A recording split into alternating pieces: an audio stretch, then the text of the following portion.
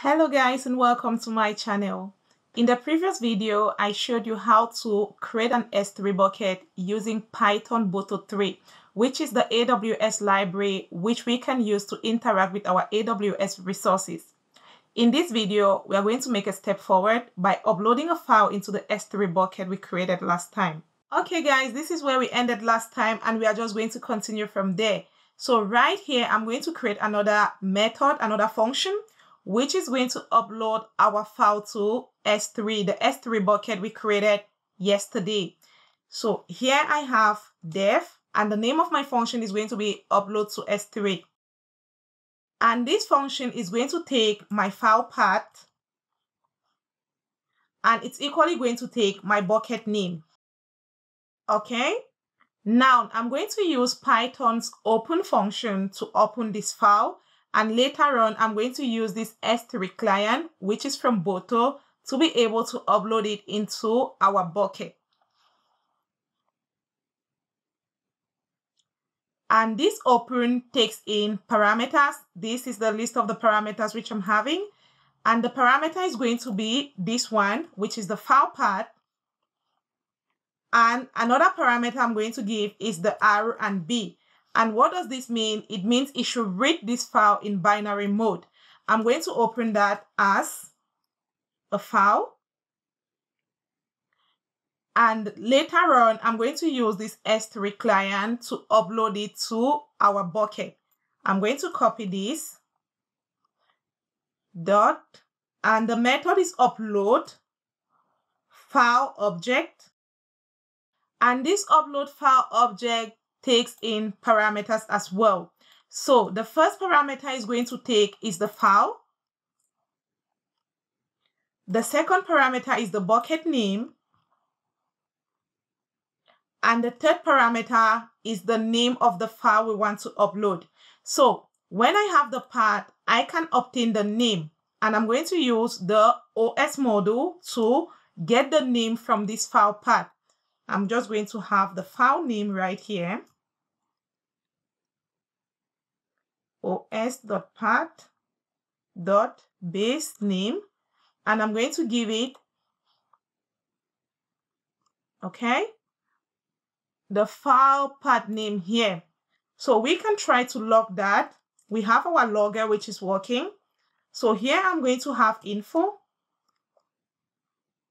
And inside info I'm going to have the name of my file. So here I'm going to have dot format and I'm going to pass this name. Okay, so that I can see what is here. We can equally log the file path and the bucket name. That can be of interest when we are debugging our applications. Now I need to pass this file name, which is the third parameter, to my client upload. Okay, so that is it. It's supposed to work this way. But remember, we are missing one thing. We have not handled the exceptions. To handle the exceptions here, I'm going to do one thing. I'm going to put all of these in a try.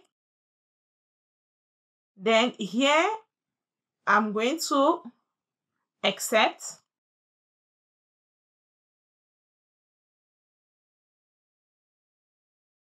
I paste it there, okay? Okay, so now we have to test what we have written. So I have a file, not a file, an image, which is this one. I'm going to copy it and that's what we are going to use. So right here, I'm going to paste it and we are going to change this backward slash. So I have control F. I change the backward slash to forward. Okay, replace with forward that is what I'm going to do. Replace all. I copy this.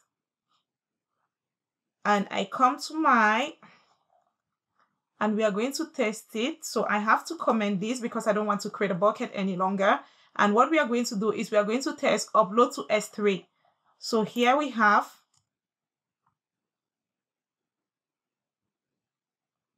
upload to S3, which takes a file path, which is this one. I didn't change this, sorry.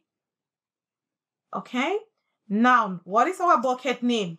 our bucket name, I'm going to upload it to bucket created using Boto 3.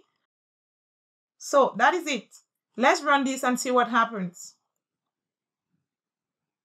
Mm. Permission denied. Okay, the permission is denied on OneDrive because I'm surely storing this on OneDrive and it doesn't like it. Oh, sorry. There is a problem here. I have the image, but I didn't put the name. So I'm going to put the name right here, which is this, and let's see what happens. I save it, I run it again.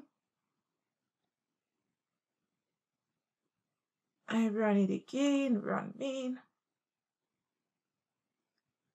Okay, object has no attribute upload file object. I definitely made a mistake with the name of the method. So that should be uh, object. Is that the way it's supposed to be? I run it.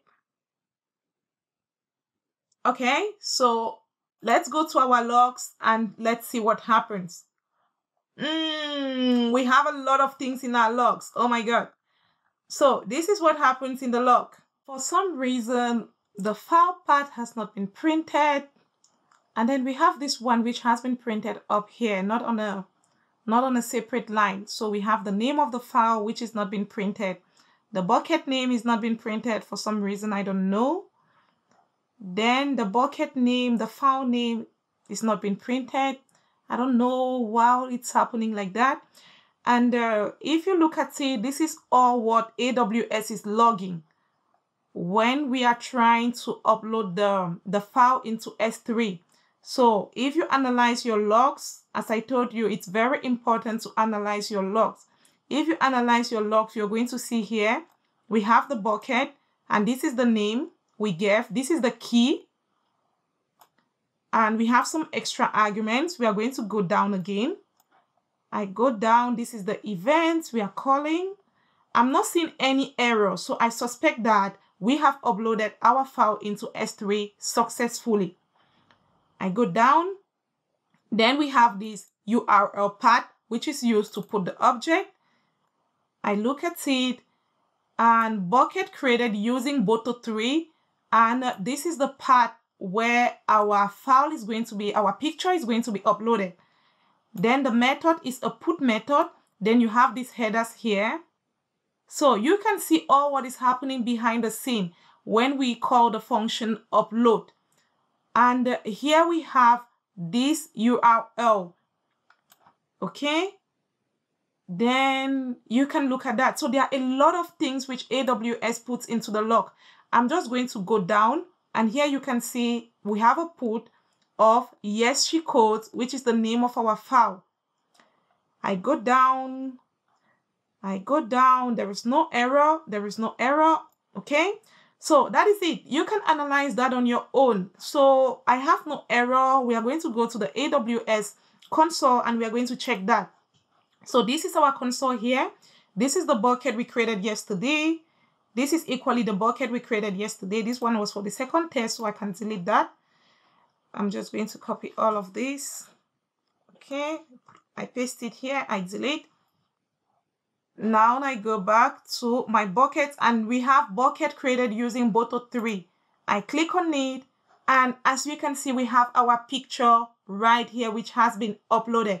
So we successfully did that using Boto 3. The objective of this video has been attained. Thank you very much for watching and please don't forget to thumbs up, subscribe and share with your friends. Bye bye.